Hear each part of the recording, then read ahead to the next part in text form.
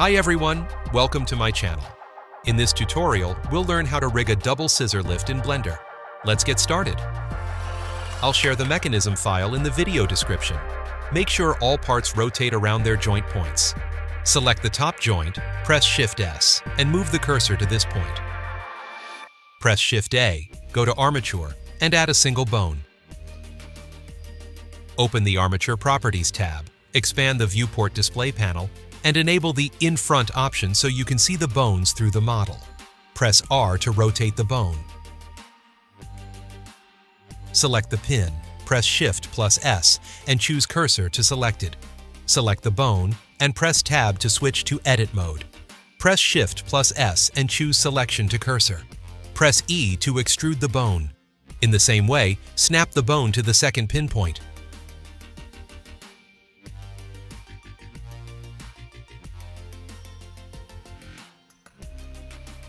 Select the head of the bone, extrude it, and snap it to the next pinpoint.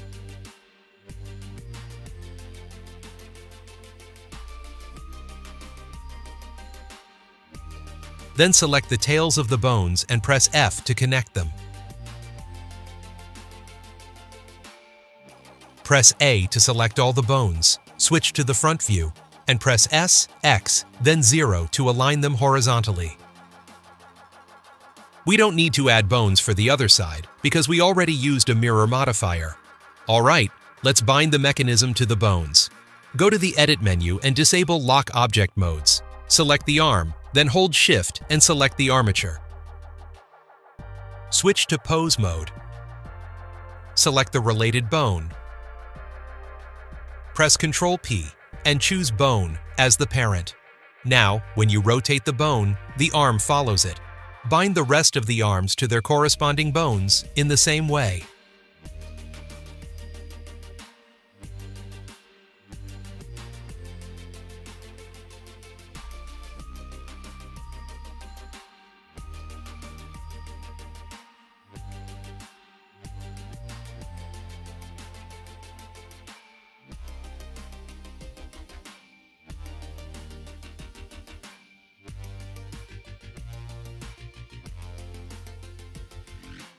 Alright, let's add inverse kinematics to the arms.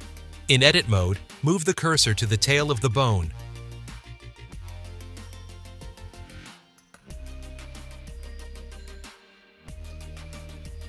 And add an empty object there.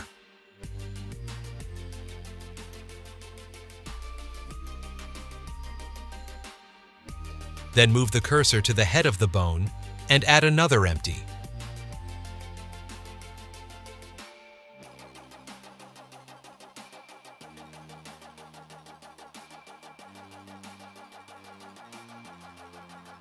Select the armature and switch to pose mode. Select the bone, go to the Bone Constraints tab, and add an inverse kinematics constraint. Set the empty as the target object and set the chain length to 2.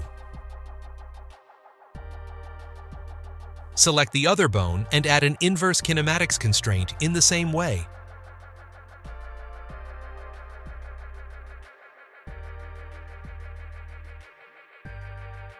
Now, when you move the empty, the bones follow it.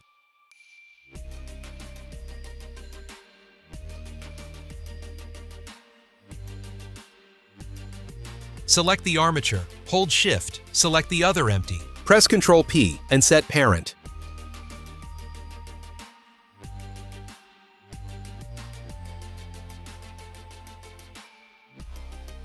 You can hide the armature by pressing the H key.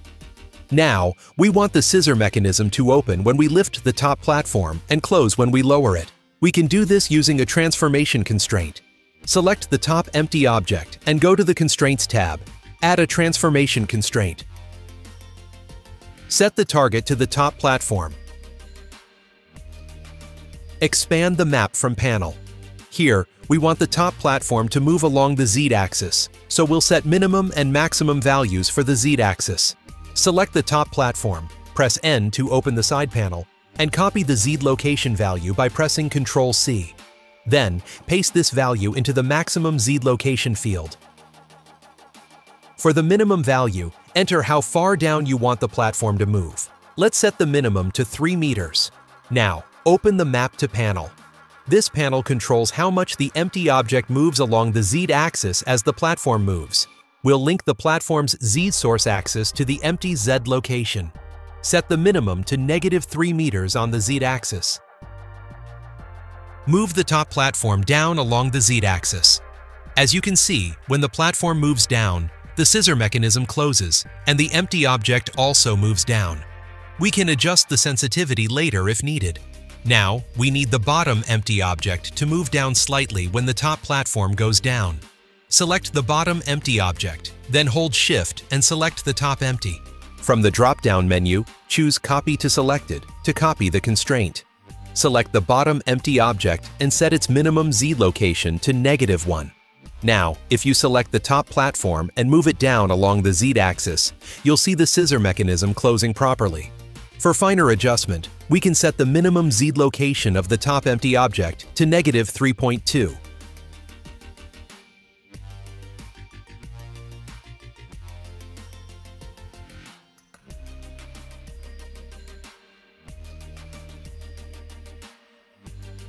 Also, we can limit how high the top platform can move using a limit location constraint.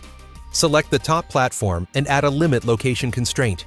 Enable the minimum and maximum for the X, Y, and Z axes. Since we only want the platform to move along the Z axis, leave the X and Y minimum and maximum values at zero. Copy the maximum Z location value from the side panel and paste it into the corresponding field.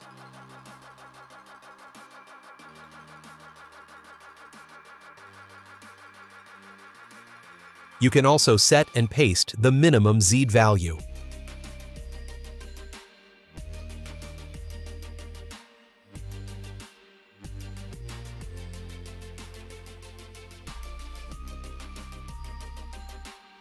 And that's it. In this tutorial, we rigged a double scissor lift mechanism. Thanks for watching. I'll see you in the next tutorial.